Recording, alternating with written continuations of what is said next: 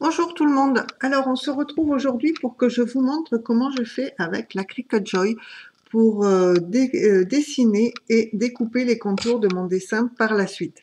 Euh, vu que la machine au départ n'est pas prévue pour faire cela, de dessiner et découper le, même dessin, à contrario de machines plus, grosses.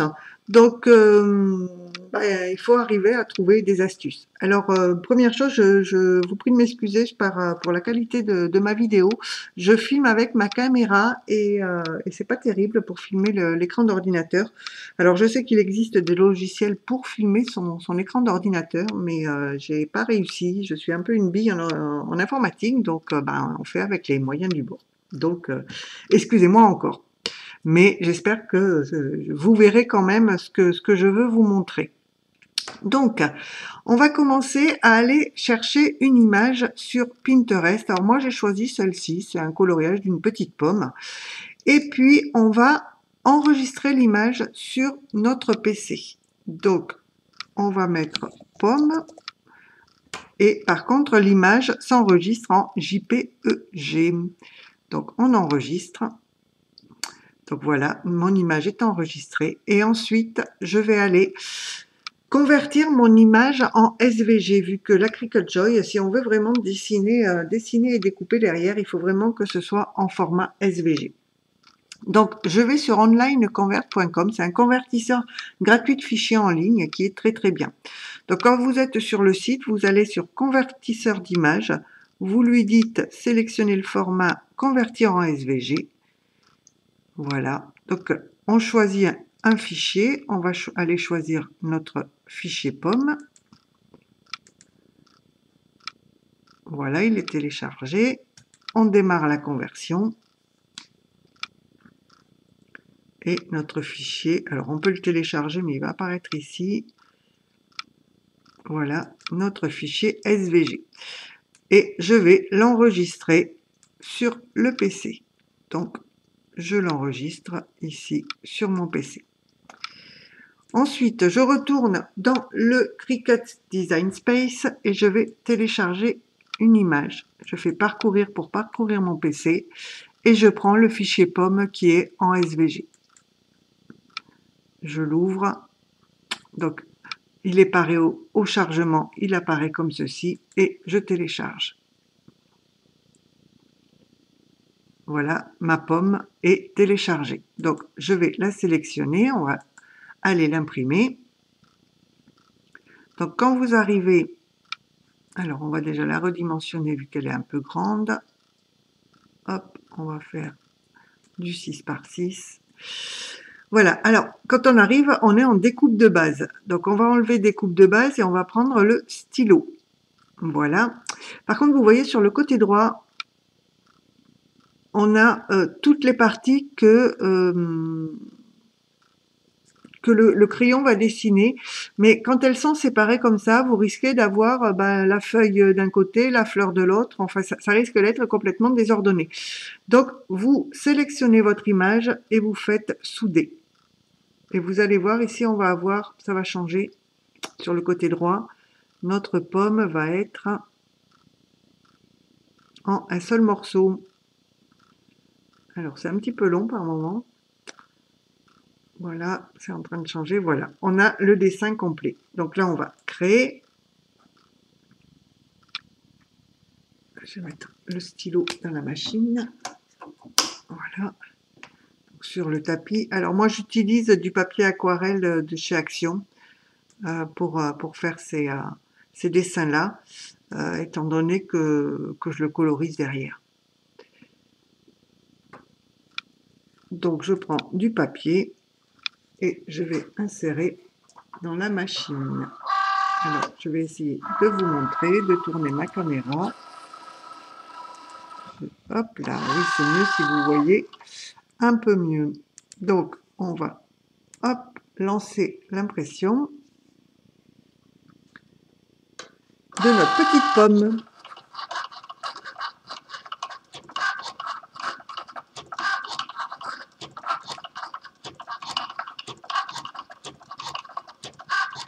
Donc les dessins sont quand même euh, assez rapides, sauf si on prend quelque chose de très très très complexe.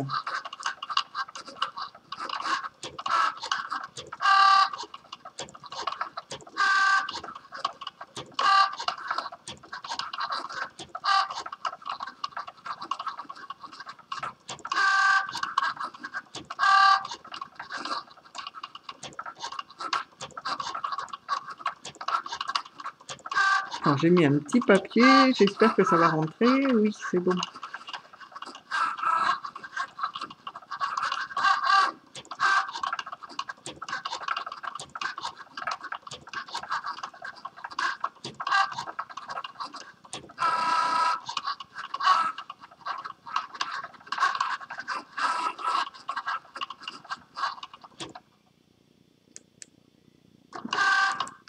Donc, on va attendre de décharger le papier. Décharger, voilà. Et je vous montre. Donc, notre pomme est dessinée. Donc, surtout, vous ne touchez pas du tout à votre papier. Vous le laissez tel quel sur le tapis de découpe. Donc là, tant que j'y pense, on va enlever le stylo et on va mettre la petite lame et je vais vous rebasculer sur mon écran. Alors, au départ, ça va pas faire joli, vous inquiétez pas.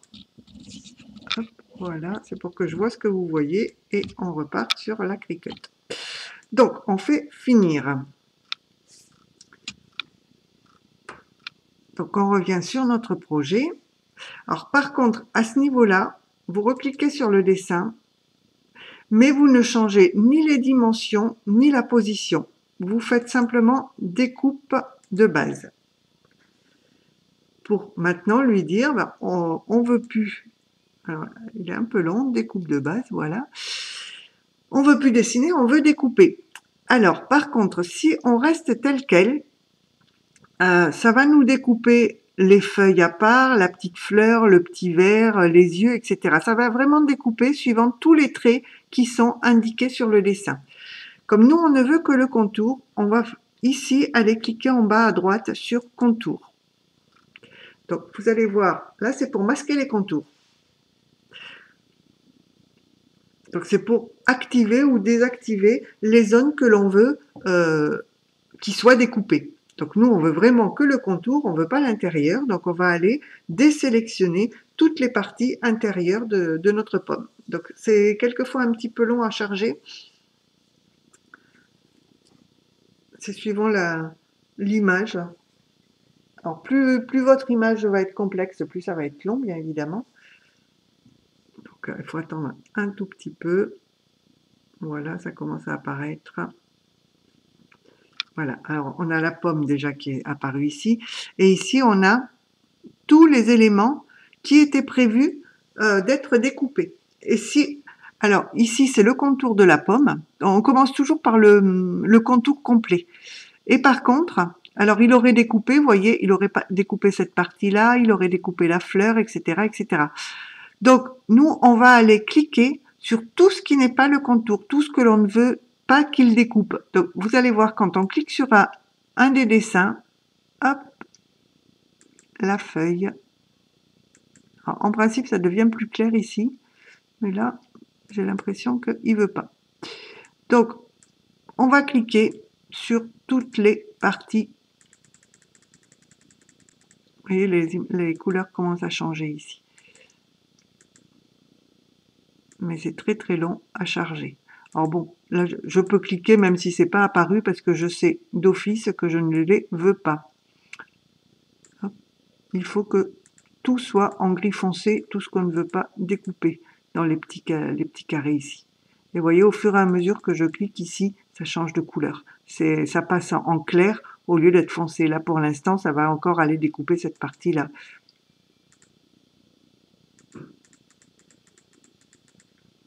Alors, Là, vous voyez que du blanc parce que si on attend, ça devrait apparaître, euh, les formes devraient apparaître, mais si, si on attend, on risque d'attendre un petit moment. Et je veux pas que ma vidéo dure trop trop longtemps. Donc là, j'ai tout grisé, sauf la partie, alors vous vous souvenez, tout en haut, c'était le contour. Bon, là, ça, ça, bug un petit peu.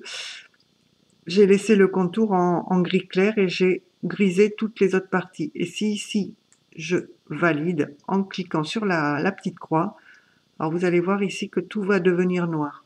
Bon, c'est un peu long, voyez, voilà. Voilà ce que la machine va découper. On aurait eu, mettons, vous faites une, une, tasse et vous avez une anse.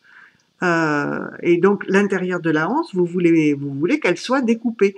Bah, du coup, vous ne cliquez pas, vous ne foncez pas la partie intérieure de la anse pour que euh, ce soit découpé. Vous, vous allez sélectionner vraiment les zones que vous voulez ou vous ne voulez pas être découpées.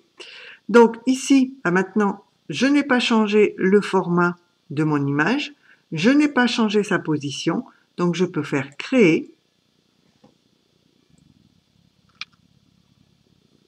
toujours sur le tapis, continuer,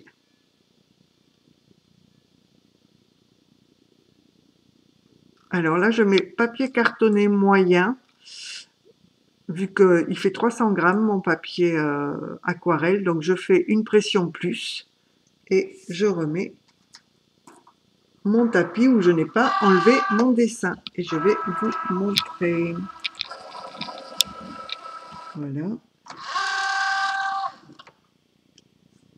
Donc, allez, va découper.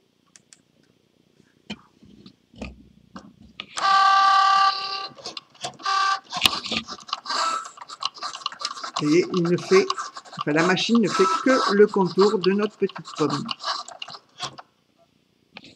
Voilà, elle a terminé. On va faire décharger. Alors, je vous repose. On va la reprendre. Donc, vous voyez notre pomme. Alors, je vais bouger un petit peu. On va bouger ça. Là, on voit l'image. C'est pas très agréable. Donc, alors quelquefois, avec mon papier, il est un peu épais, mais ça fait comme des die cuts. On vient découper le contour. Hop, et voilà notre petite pomme que l'on n'a plus qu'à coloriser. Donc, vous voyez, c'est je fais dans ce papier aquarelle là. Voilà, donc il n'y a plus qu'à coloriser. Donc, euh, vous voyez, c'est super simple. Donc euh, là, euh, récemment, j'ai fait le petit chat comme ceci, le phare. Donc à chaque fois, j'ai colorisé. Je vais vous mettre un papier. Hop là, pardon pour le bruit. Hop, le phare. J'ai fait également ceci. Vous voyez? Donc là, c'est tous les... Vous voyez, ici, il y avait une petite anse à la, à la, à la montre. Donc j'ai choisi de découper le contour et de découper l'intérieur de la anse. J'ai également réalisé le bocal avec les boutons et ceci. Voilà mes créations en découpe, enfin dessin et coloriage. Et je vous remontre donc la petite pomme que nous avons fait ensemble. Alors faites attention, euh, suivant l'usage que, vous faites de vos images, prenez bien euh, sur, euh, sur Internet des images libres de, droit, de droit bien évidemment, vu que il y a quand même des droits d'auteur par moment. Donc voilà, euh, j'espère que cela vous aura aidé euh, euh, pour mieux appréhender cette partie-là qui où j'ai mis un petit moment quand même à, trouver comment comment faire. N'hésitez pas à me laisser des commentaires et je vous dis bonne création et puis à bientôt. Allez, bye tout le monde